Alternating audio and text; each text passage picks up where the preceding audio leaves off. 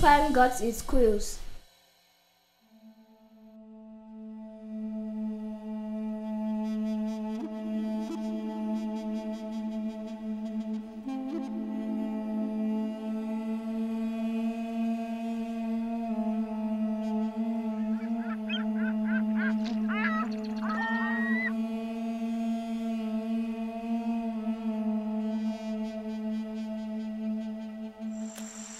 It was sunrise when the jackal came across the porcupine.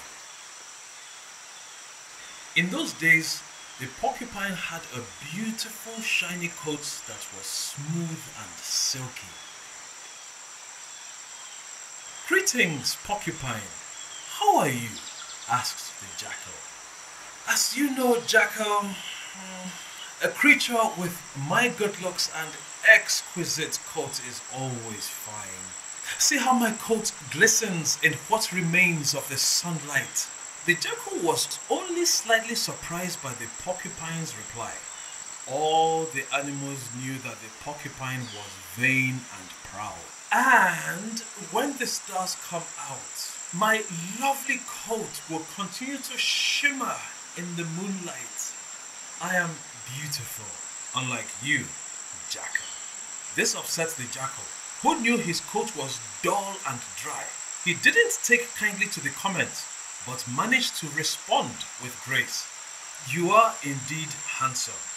That would be hard for you not to notice, Jackal, ugly as you are. Quite so, said the jackal, now totally fed up, and who began to trot away from the porcupine. Going so soon? teased the porcupine. Obviously, my amazingly good looks make it impossible for you to gaze upon me for so long. This last comment was too much for the jackal to take. He decided to employ his natural cunning and trick the porcupine if he could.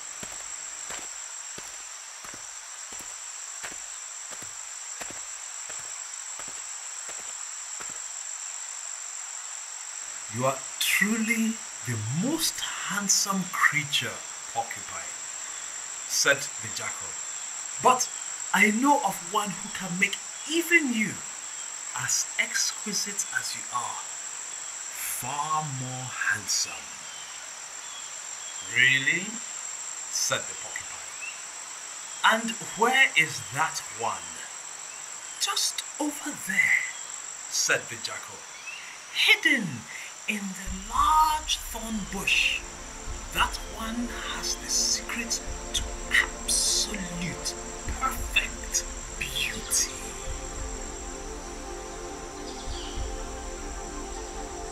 The porcupine was so excited that he walked quickly to the thorn bush. Oh, porcupine, called the jackal. Before you go, don't you think you should remove your coat and leave it with me for safekeeping, you know? You wouldn't want the thorns on that bush to damage it now, would you? The porcupine, who was beside himself with the anticipation of becoming even more beautiful, did not waste a moment. He removed his coat and handed it to the jackal. In a flash, the porcupine jumped into the thorn bush. Ouch! Ow! Screamed the porcupine as the sharp thorns dug into his back. He shuffled and shook, shimmied and shook. Long black and white thorns would not come off. He ran back to the jackal, very angry indeed. The jackal was laughing as he said,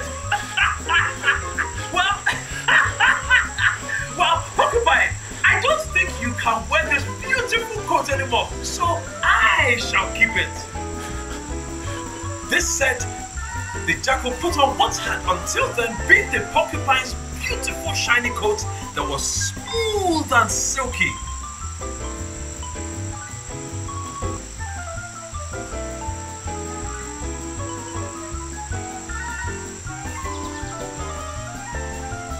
And ran off. Today, the jackal has an attractive coat while the porcupine is covered in quills.